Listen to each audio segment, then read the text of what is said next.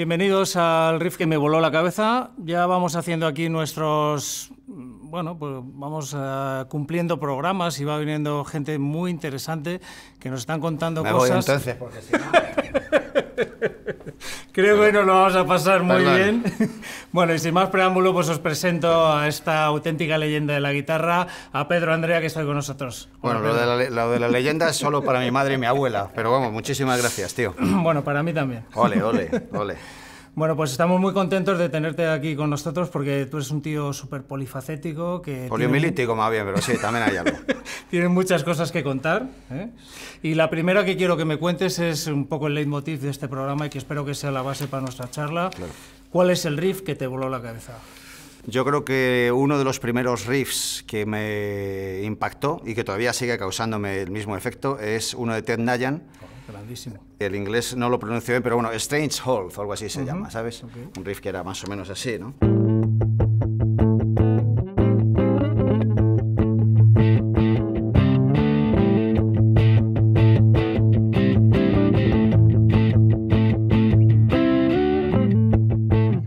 Tocado, o sea, Nayan no...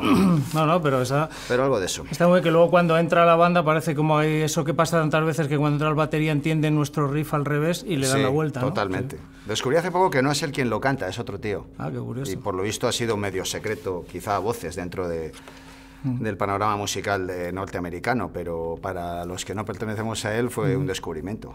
Bueno, hay muchas cosas estas curiosas. Antes comentamos eh, con César el punto de Mick Taylor, ¿no? que el tío estuvo tocando cinco años para los Rolling Stones, Sí. incluso llegó a confesar que, que el Jumping Jack Flash era una composición suya No. y, y nunca aparecía en los discos, en los créditos ni nada. Siempre firmaba todo Jagger y, y Vaya, Richard. hombre. Esas cosas. Nada, nada como conocer a un ídolo para desencumbrarlo. Qué lástima. Bueno, y mm, por seguir un poquito con el mundo de la guitarra, ¿tú tienes alguna...? Porque tú tienes una técnica muy particular de tocar, ¿no? O sea, con dedos, ¿no? Sí. ¿Lo combinas a veces con la púa también? ¿o no? Aunque no esté muy familiarizado con la púa, de hecho no la cojo como hay que cogerla, los repertorios que he hecho muchas veces obligaban al uso de ella. por, mi, por, mi propio, por mi propio gusto, pues bueno, muy rara vez la he, la he cogido. Pero si había que recrear el sonido de, de las guitarras grabadas en el disco que tú estabas tocando en esa gira, pues era obligado, ¿no? ¿Sabes? Pero tu deseo, digamos, o tu gusto es tocar con dedos más que... ¿Te relacionas con el instrumento mejor? Sí, es, es como sí, se podría decir que sí. O sea, me es, me es más leal a las ideas que se me ocurren, ¿no? De todas maneras, cuando estás tocando para alguien, tiene que ser un artista muy generoso. A no ser que te dejen un margen de, de independencia, lo normal es que tengas que ser más reproductor, ¿sabes? ¿Y Entonces- cómo es eh, específicamente? Porque es, es de una manera un poco extraña, ¿no? O sea, que- Pues no sé hasta qué punto será recomendable. Yo, por ejemplo, el, el dedo eh, meñique lo utilizo para apoyarlo. O sea, que lo anclas, digamos, Sí. que para... Bueno, a mí me permite tener un giro más autoritario, es más la mano más obediente, cuando lo que voy a hacer exige eh, determinados ángulos en el resto de los cuatro dedos que sí empleo. Pero bueno, hay técnicas de finger picking bastante más ejemplares que la mía porque lo, in- lo implican dentro de los, dentro de los cinco, ¿sabes? Para poder utilizarlo. El único uso que yo normalmente le doy es este, ¿sabes?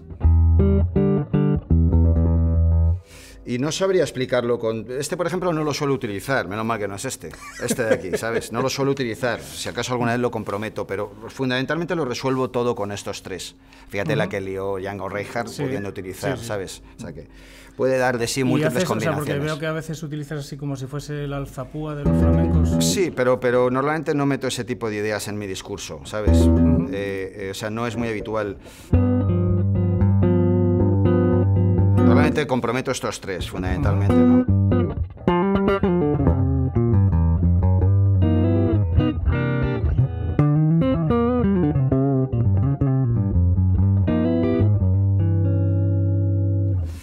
Me ayuda bastante, ¿sabes? Pero evidentemente conlleva algunas limitaciones. Hay que escoger tus ideas mirando antes en el saco de tus posibilidades, no en el de Ajá. tus anhelos, Claro. ¿sabes? Lo que sí me imagino es que eh, esta técnica también hace que, te, que cuando quieres decir una cosa con una cierta velocidad, pues tires de ligados o de otro tipo de técnicas más de mano sí, izquierda, sí, ¿no? Sí, sí, por supuesto que sí. Sí, yo me, me ayudo con todo lo que llevo como 43 años tocando.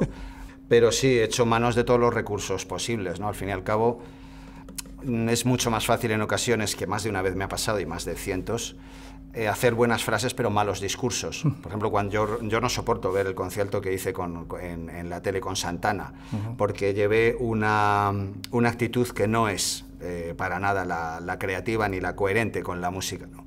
Quiero decir, yo tenía una serie de riffs en la cabeza y busqué el lugar del compás donde meterlos.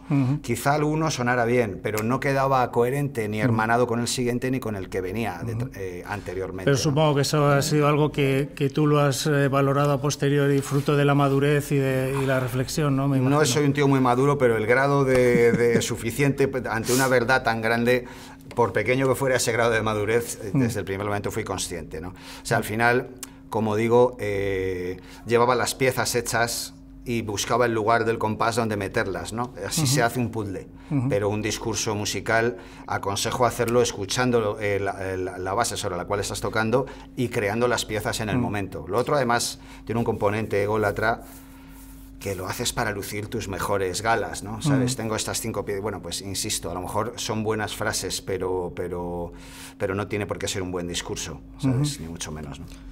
Eso hablaremos en concreto porque yo creo que fue un, un, momento.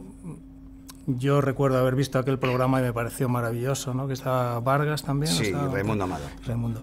Y yo me pareció como un hito, ¿no? Para, para nuestra música, en el sentido de que eh, nos da un prestigio internacional, ¿no? Y yo tengo un recuerdo grandísimo. Pero hablando de lo de la técnica que estaba diciendo, esa técnica tan particular, ¿tú cómo calientas o cómo enfocas una rutina de calentamiento para, para dar, sacar el máximo partido? Pues mira, eh, con toda honestidad, eh, cuando era más joven o menos viejo, no necesitaba calentar. Cogía la guitarra y, mm.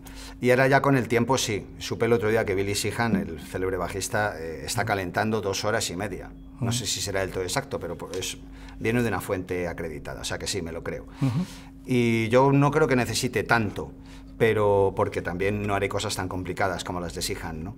que tiene un cóctel de técnicas Hombre, el mucho más generoso. Yo ahora últimamente vi un, eh, esto, Sons of Apollo y es súper exigente, claro. o sea, es que son unos claro. riffs eh, de una complicación, nivel técnico muy alto, entiendo. Claro. Entonces, que, sí, pues sí, pues, lo, pues, pues, está explicado. Entonces, yo ya cada vez voy... Eh, eh, es, dependo más del, del, previo que del durante, ¿sabes? Uh -huh. Antes en el durante ya calentaba en los primeros compases, ¿no? Uh -huh. ¿Sabes? Tampoco eh, toco con la frecuencia y la entrega que el instrumento exige, ¿sabes? O sea, uh -huh. creo que a lo mejor llevo un mes sin tocar, ¿sabes? O quizá más. Y se nota, se nota al tocar, por supuesto, ¿no? La limpieza, el tiempo queda muy resentido. Bueno, Manolo Sanlúcar lo decía, este es un instrumento muy rencoroso. Por ser esa forma tan peculiar de tocar, tú te basas en otro tipo de, eh, de instrumentos, me refiero. Guitarra clásica o guitarra acústica que no tengan tanto que ver con la eléctrica, al ser una rutina de dedos, etcétera. He coqueteado con lo aflamencado, subrayo coqueteado y ado. Pero en uno de los últimos discos que se llama Fuego y Miel sí que he hecho algunas cosas, uh -huh. al menos para mí muy difíciles, ¿no? que me sirven para calentar. Voy a intentar un poco expresarlas. A ver si me acuerdo.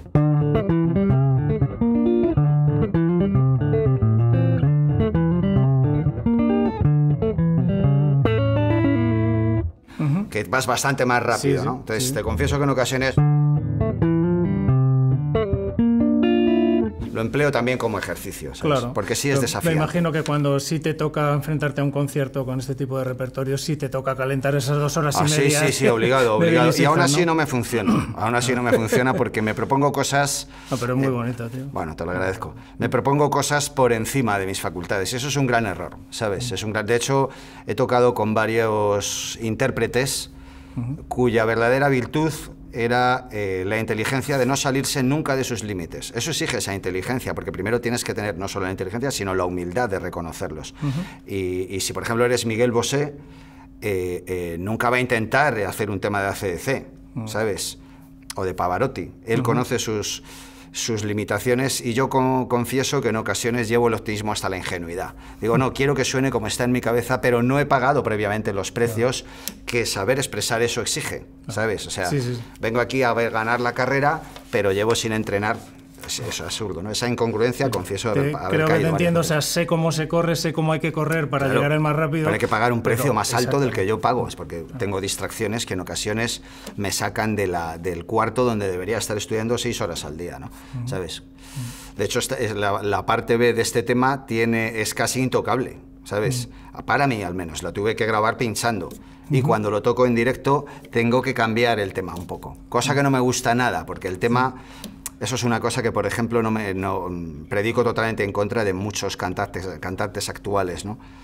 Eh, han olvidado que lo más importante es la canción. Pero al final, ¿sabes quién acaba perdiendo? La música. Esta armonía de aquí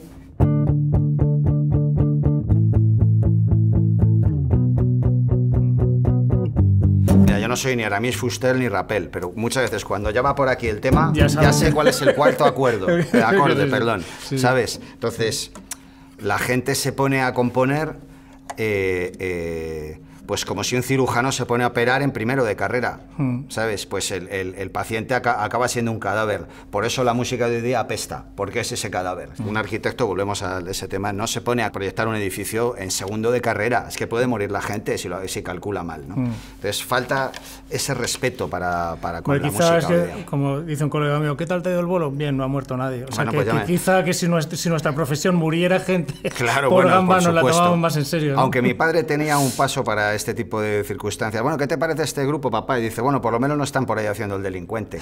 También me vale, ¿sabes? Ah, tío, ¿sabes? Hay que ser... De hecho, a mí no me parece grave que exista la ignorancia que muchas veces presenta el pueblo, el desinterés, la falta de, sensibilidad, la de respeto. Eso siempre ha existido. Lo malo es que esas facultades estén personificadas en un individuo que ocupa un puesto de poder. Si está tirando un arado no puede hacer daño a nadie o despachando chope. Pero si es el presidente de una compañía, ¿sabes?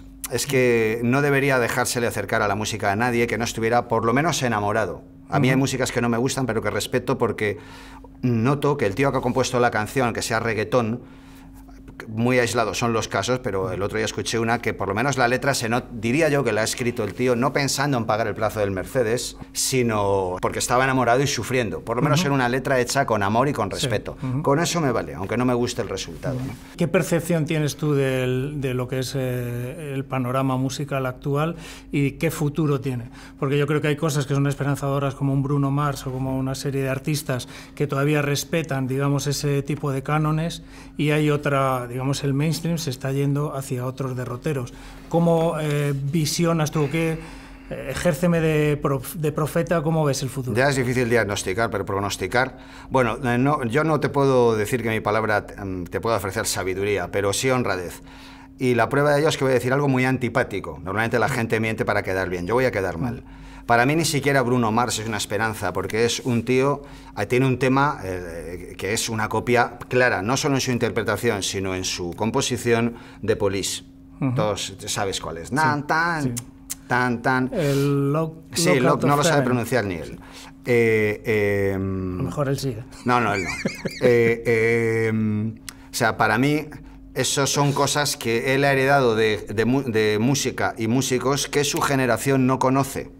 De manera que cuando presenta algo copiado de, de una oferta que dista de este momento 40 años, eh, como son Polis, pues le parece nueva porque no lo ha escuchado antes. ¿no? Normalmente la mayoría de la gente que ficha un grupo es porque ya se parece previamente a algo que haya tenido éxito.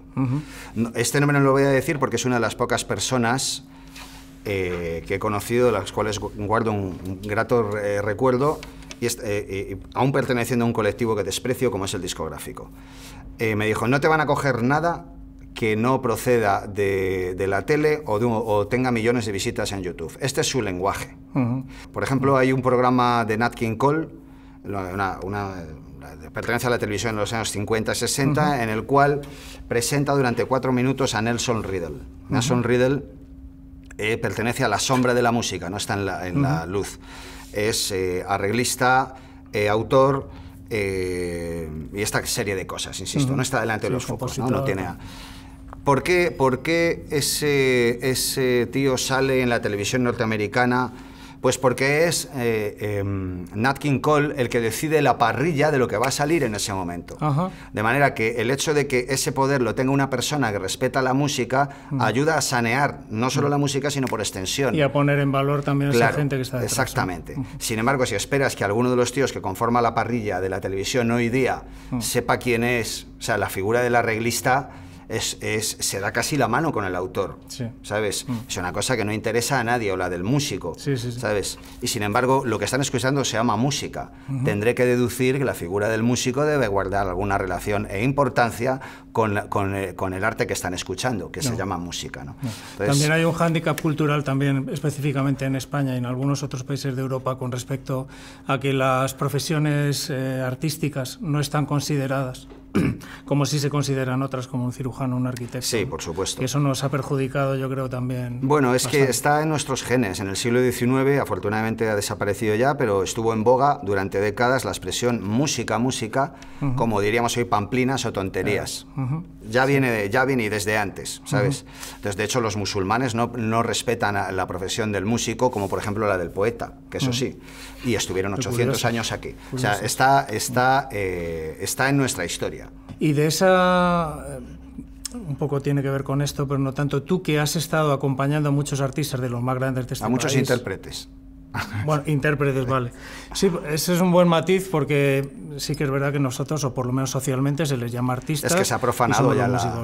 Bien, pues esa faceta, digamos, como acompañante de intérpretes, eh, tú siempre la has eh, compaginado con tu faceta de creador, ¿no? o sea, de hacer tus propios discos. Yo recuerdo, yo me compré tu disco Tierra. No querrás que te devuelva el dinero. No, me gustó mucho. ¿eh? Lo tienes ahí calzando la mesilla, ¿no?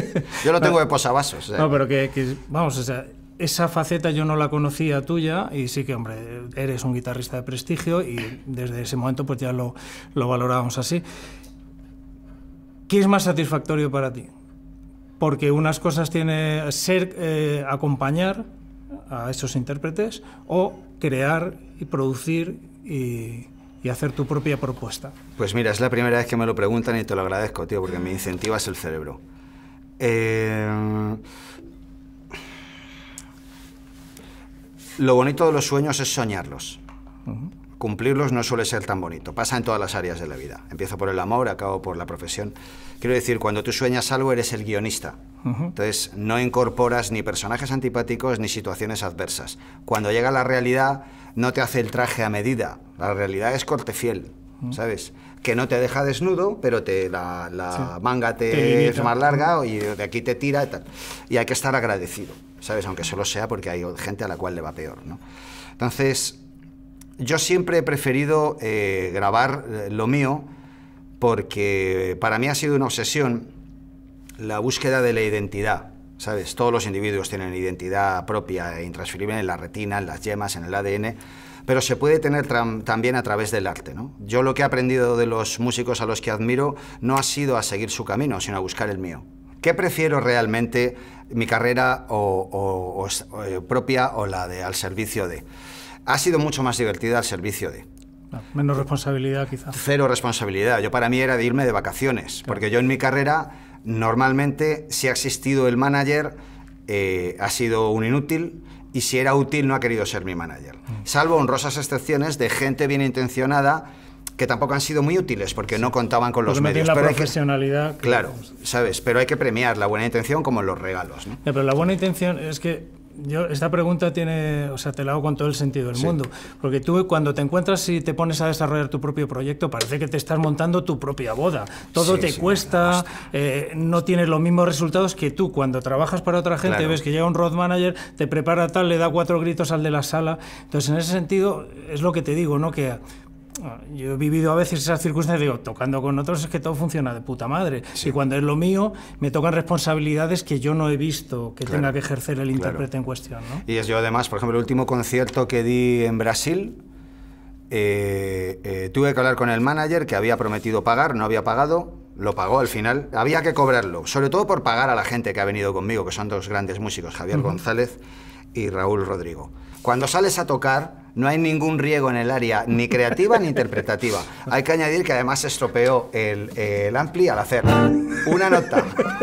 Y además había un reloj grande, porque solamente era una hora, ya se estaban consumiendo, lo cual era un problema luego para cobrar también el contrato, porque al final no he tocado eh, la hora. O sea, bueno, eh, digamos, el resumen, hay una canción que teníamos en Sangre Azul que decía, aunque soy lo que siempre quise ser, así no lo soñé, ¿no? No, es bueno, pues me vale, perfecto, perfecto. Es que, es que es así de duro.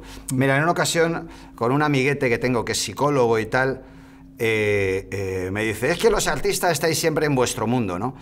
Y es peligroso subirse al ring dialéctico contra mí si me coges de mal humor, porque no voy a emplear malas palabras ni nada, pero no, no soy animal dócil. Nos estaba llamando locos al colectivo, ¿no? No, es que vosotros estáis siempre en vuestro mundo, y le contesté, si es que alguien tiene que crear uno para que podáis refugiaros del vuestro. sí, porque nosotros no tenemos quizá una profesión tan importante como la del médico porque no salvamos vidas, pero les damos sentido. Para mí sí es igual. Claro que sí. Y además tenemos, que esto estaría muy bien que el pueblo español lo supiera, mm. luego tenemos una, un efecto curativo sobre el ánimo. Eso es importante. Ánimo significa alma. Da igual lo que tengas o lo que seas, lo que importa es cómo te sientes. ¿Sabes? Si yo me vas a salvar la vida para vivir amargado, prefiero mil veces que no me la salves. O sea, es posible que hagamos cosas importantes. ¿Sabes? Ya va siendo hora que empiece a importarle a alguien. Correcto. Entonces, resumiendo un poco la pregunta que te hacía, eh, ¿qué prefieres? ¿Tu concierto en Brasil? Eh, eh, prefiero ir a tocar con Miguel Bosé. Sin duda. Sí, te, digo, con Miguel Bosé. Recuerdo en una ocasión que una chica que tocaba me dijo, lo voy a dejar porque esto es muy difícil y tal. Quizá apelaba a mi piedad. No lo consiguió. Porque le contesté, digo, eh, eh, tienes la posibilidad de dejarlo o de continuar. Si realmente tienes una vocación, vas a ser mucho más infeliz fuera que dentro. Y si eres capaz de encontrar la felicidad fuera, es que tenías un hobby, un capricho o una afición, ¿sabes?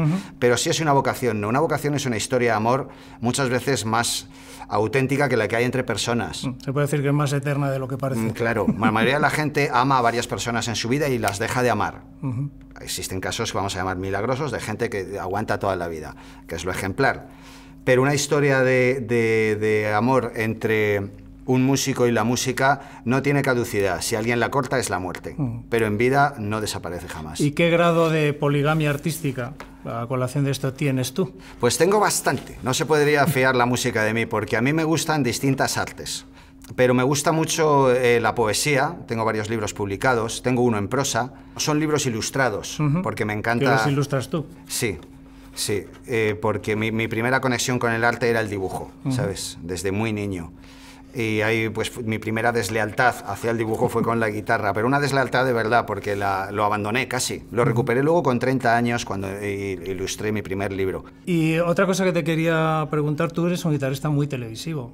Yo te he visto, o sea... Lo he sido. Bueno, todavía sale algo, ¿no? Todavía sale algo. Es que eh, esos, esos momentos en los que muchos volvíamos de bolo y te estás atacando la nevera ahí porque a lo mejor te has tomado un cubata más de la cuenta y estás ahí untando foie gras y verte a ti en la tele a las 4 de la mañana era todo uno, ¿no?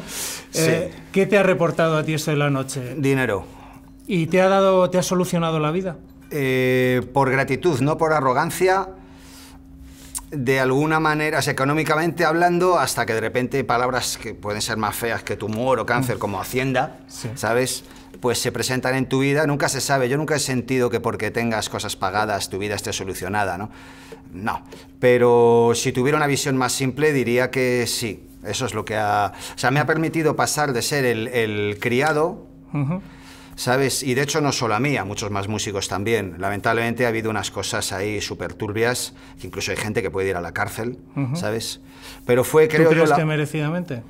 Hombre, ir a la cárcel no sé si es muy duro. No, la cárcel no, pero No, pero están en riesgo, están en riesgo. Asumir las consecuencias, totalmente de acuerdo. Se han hecho cosas tan malas como esas dentro del colectivo. Por ejemplo, yo he salido mucho en la tele, y me das la ocasión de decirlo, porque solo lo he dicho en mi círculo privado, porque aparte de saber componer mal o bien, también sé tocar. ¿Qué significa esto? Que muchas veces no he salido como autor. Por ejemplo, yo hice, eh, he tocado con Lolita, con Víctor Manuel, con Rosario con... ¿Cómo se llama el de Ketama, el cantante? Antonio. Antonio, Carmona. O sea, con toda esa gente iba ahí cobrando 600 euros. Sí ha ocurrido también de gente que si tenía el contacto te daba... Te voy a hacer que toques y tal, y porque lo tengo aquí, pero me tienes que dar bajo cuerda la mitad de los derechos y tal. Yo son, Esos chantajes. Yo eso, eh, a, mi, a mi amigo Oscar Morgado, a mi amigo Carlos Izaga, tú conoces a Izaga, ¿no?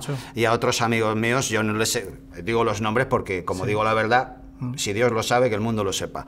Eh, eh, yo no les pedí jamás que me dieran nada, ¿sabes? O sea, no está en mi carácter. ¿Qué me ha reportado eso? Pues la parte de tranquilidad y de libertad eh, que compra el dinero, porque el dinero... Em, si tiene algo mágico, por supuesto tiene magia negra, pero si tiene alguna blanca, es que no solo compra cosas materiales, también espirituales. Entonces, a mí eso lo único que me ha dado es eso, no me ha dado notoriedad, ni me ha dado mucha gente que, que, que siente, bueno, no es que me odien a mí, odian no ser yo, ¿sabes? O sea, gente que, porque eso, meterte ahí exige una serie de trabajo que no es guitarrístico. Yo además, y esto lo digo el que me lo discuta, que suba al ring conmigo, ¿sabes? Eh, eh, yo no me he rido en mi vida de un chiste que no me ha hecho gracia, no he dado la razón si no estaba de acuerdo, ni he dicho te quiero sin sentirlo. Más rápido, no sé disimular, ¿vale? Em, lo cual dificulta muchísimo el acceso a la fama, porque como le dije a un chaval que no dejaba de insistir en una masterclass, él no quería aprender nada por ciertos síntomas. Lo que quería saber es cómo puedes vivir de la música. Y yo le contesté descafeinadamente. Pero ya tuve que cargar el café. Dije, en el negocio de las artes no se prospera dominando las bellas, sino las malas. La hipocresía, tal, todo ese rollo. Y, tiene dos divisiones dentro del verbo vender, para mí repugnante. Una es vender tu arte, que es más o menos lo, eh, lícito incluso del todo, y otra es venderte por tu arte. Eso puede ser vender desde tu dignidad, tu sinceridad y por supuesto tu cuerpo. Yo esas cosas no las he hecho en mi vida. Pero por ejemplo ir a reuniones eh, de la SGAE donde hay tanta gente que, en fin, está ahí por cosas nada relacionadas con la autenticidad ni con el amor. Eh, me metí dentro de ese, de ese pantano hasta donde los caimanes y los mosquitos me mordieron y me mancharon, porque también hay fango. O sea, facultades como las de confiar o de entusiasmar me han quedado dañadas, pero salgo con una gloria que no voy a permitir a nadie que me quite. Y es que ninguno de esos canallas me convirtió en otro canalla. Que eso es la verdadera putada en la vida. No es que le, eh, te estafen o te mientan, sino que tú llegues a legitimar la estafa y la mentira. ¿no? La mayoría de la gente que existe en la vida, de hecho, suelda eslabones, no los rompe. Mi mujer me era infiel, pues a mi próxima mujer le voy a ser infiel. Mi padre me pegaba, a mi hijo le voy a pegar. Yo he aprendido a romper los eslabones, no a soldarlos. Y tengo que decir una cosa extra. Ese negocio se ha acabado tirando completamente por tierra. No ha sido para que los beneficios que reportaba fueran más equitativamente distribuidos, sino para que gente de las editoriales y, en fin, de, de las elevadas cumbres sigan llevándose dinero, como ha ocurrido siempre, ¿sabes? En fin. y hablando de historias de la tele, pero mucho más amable, vayamos a ese, ese, momento mítico de la televisión en el que a ti te toca tocar con, con Santana.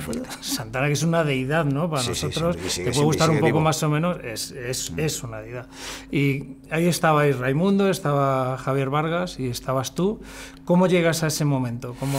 La versión oficial asegura que Santana escuchó unos guitarristas y me escogió a mí. Mm. No me lo creo. Eh, yo, yo, yo tocaba con Miguel Bosé y Miguel Bosé era el director de ese programa. Yo creo que, mm, que eso fue una gentileza de Miguel. ¿Y quién te llamó a ti para participar de la producción del programa? Es que te estás remitiendo al año 98, ¿no? Fíjate, son 25 años. ¿Quién me llama a mí? La, yo para mí tengo, ese programa ocupa en mi conciencia lo mismo que la noche de Sabrina en... O sea, ah, claro, sí, sí. un momento icónico.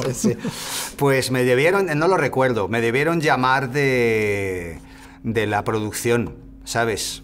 Eh, no, Miguel en absoluto, ¿sabes? En absoluto.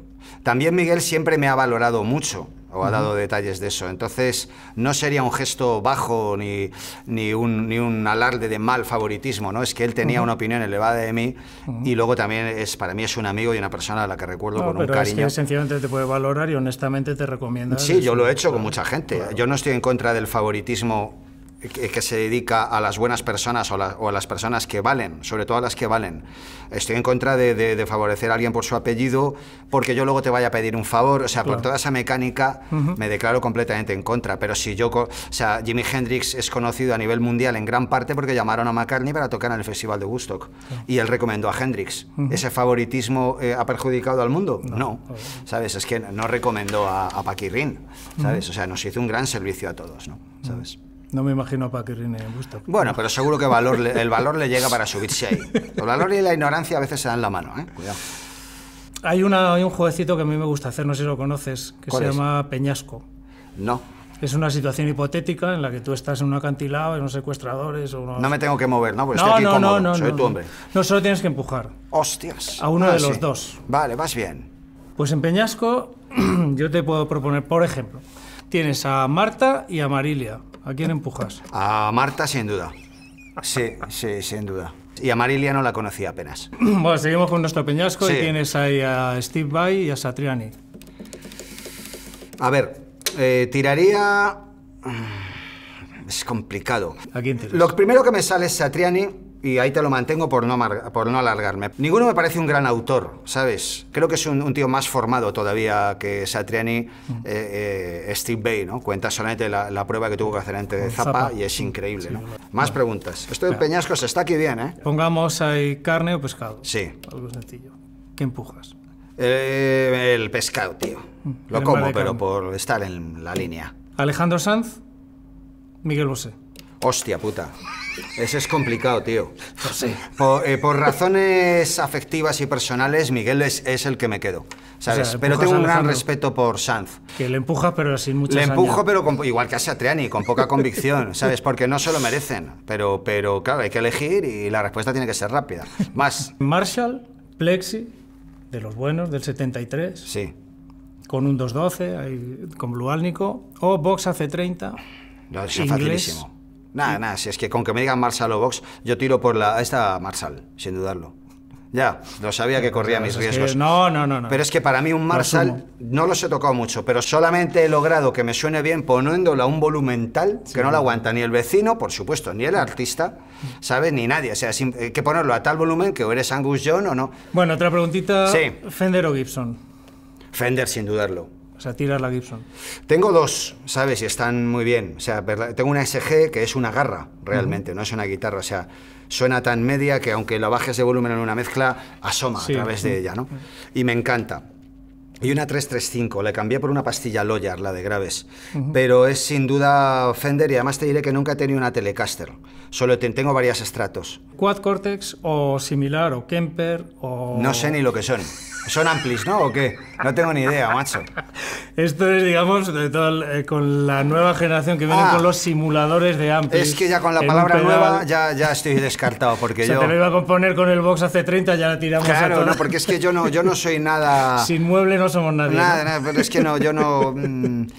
O sea que de Quad Cortes no. Pero bueno, como yo soy un tío que vino al mundo ciento y pico años tarde, este no es mi siglo, pues ¿qué te voy a decir? ¿Sabes? Pues que hayas sido ciento y pico años tarde, para nosotros es un placer tenerte, tío. Espero que hayas estado a gusto. Súper a gusto, súper a gusto, tío. Ha sido muy interesante. Bueno, ha sido para mí, tío.